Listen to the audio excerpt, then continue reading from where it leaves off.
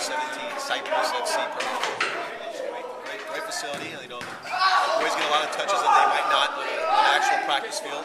So um, speed of play is tremendous, and uh, they get a good workout. So, Okay.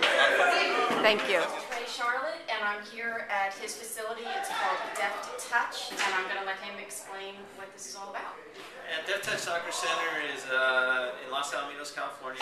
It's a we do tournaments, we do pickup games, we training sessions. Uh, we have an academy with Jonathan Bornstein from the U.S. national team, uh, where we train players. So all week we have from U6 to adults uh, playing seven days a week. Um, this used to be two. Now it's just one big or two. Sometime maybe it's two. yeah, we have two formats. One is the one big field, which is tonight for the training session, and then we also divide it in half and play two small fields, so we can adjust that.